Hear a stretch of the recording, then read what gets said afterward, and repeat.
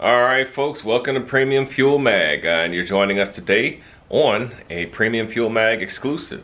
Today, we're going to be reviewing a couple of FIA certified RaceQuip seats.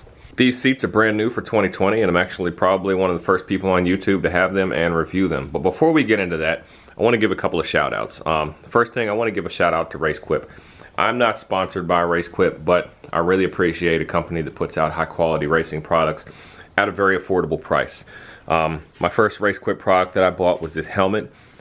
Um, I was actually saving up to buy a basic Simpson helmet, and um, I actually ended up seeing this because Brie Lynch had one of these on Hoonigan, and she gave a shout out. And when I went to check it out, this very, very nice carbon fiber racing helmet was actually the same price as a basic Simpson helmet. So I just went ahead and got it, and I've been rocking with RaceQuip ever since. Secondly, these are not actually the seats that I wanted to buy.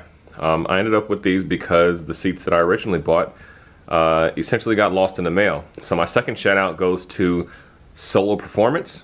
Um, they really helped me out and they were able to basically identify a comparable pair of seats to what I ordered. Uh, these are actually better than the seats that I ordered and they were able to provide me with replacements. Um, I ordered seats back in November uh, USPS lost the seats, and after a lot of back and forth, um, it was all help. They did they did nothing but help. But uh, Solo actually dispatched these seats, and they got to me in three days. So if you order these seats from Solo Performance, they're going to get to you in like three days, and you're going to have a nice, very affordable set of Halo seats. So let's go ahead and jump into it and talk about these seats.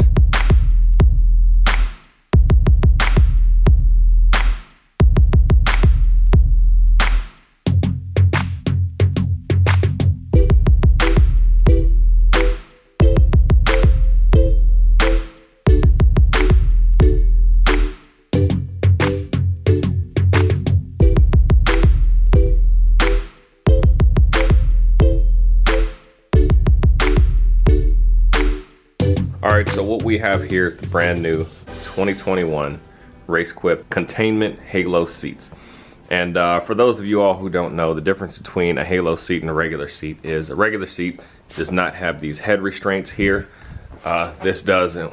and what these head restraints do is actually, uh, they help basically keep you from breaking your neck and any kind of a sideways impact. Um, because your helmet will basically just bounce off of these side pads instead of uh, putting that force into your neck. So these are really good to have. So even though these head bolsters increase the safety inside your vehicle, they're absolutely going to destroy your uh, peripherals and side-to-side -side visibility. So uh, because of that reason, they're highly not recommended to be used in a street car. As a matter of fact, it's probably illegal. And uh, yeah, you don't want to use these in a street car. These are pretty much race car stuff only. Also, what's significant about these seats is they are FIA certified. So if you're going to be doing any kind of sanctioned racing and any kind of leagues or anything like that, Pro-Am, whatever you want to call it, um, you're going to need an FIA seat. And these seats do come certified by the FIA. This is the 15 inch model. These are fairly comfortable seats. I'm not going to say that they're the most comfortable seat that I've ever sat in.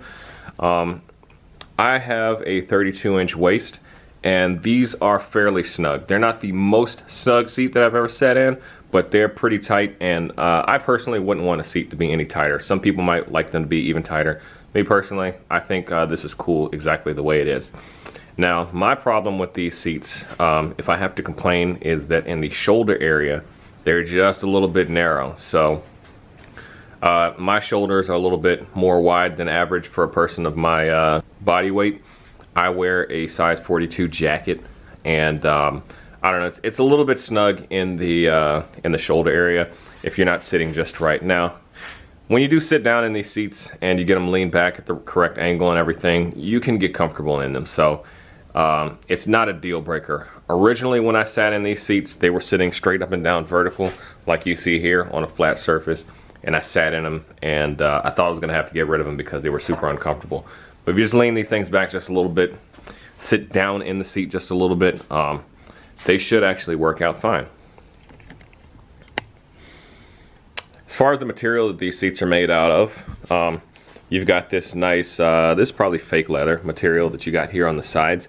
And uh, this is actually the part that takes the most wear and tear because when you're constantly sliding in and out of the car, this always gets beat up. So it's good to have something more durable here. This fake leather is going to be more durable than any kind of fabric material that you're going to see. So it's nice that they put this material here.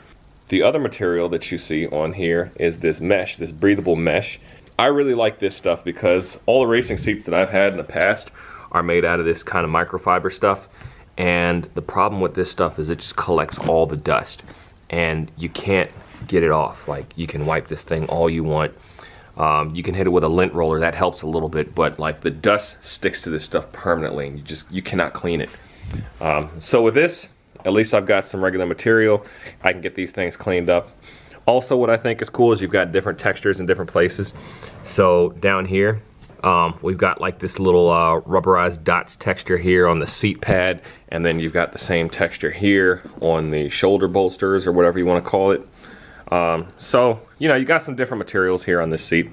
I think they're uh, pretty nice. Definitely good to look at. Uh, we've got the FIA sticker sitting right there.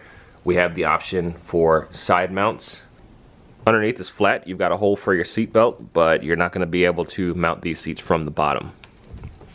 Around the back side of the seat, you can kind of see the weave of the material, whatever material these are made out of. I think they said that these things are FRP. I'm not 100% sure, but um, I don't know, I think it looks kind of cool. Doesn't look as cool as carbon fiber, but probably costs one tenth of what a carbon fiber seat costs. And nobody's looking at the back of these seats anyway, so who cares? But overall, I feel like the quality of these seats, the fit and finish of these things is um, pretty comparable to something that, that costs way more. And uh, I'm super satisfied with the way that these things look. Um, these seats are going to be going into the Miata Pro-Am car that I'm currently working on. They'll probably be going into the car in a couple of weeks as soon as we have a couple of things knocked out on that build and uh, we can put the seats into it. But that's pretty much going to be my review of the seats and I uh, hope that helps you out. And if you want to purchase these seats, I highly recommend that you go through the company Solo Performance that I bought these from. Once again, not sponsored by RaceQuip, but I would love to be if you guys are watching. Wink, wink. Anyways, um, hope you enjoyed this review and uh, we'll catch you on the next one.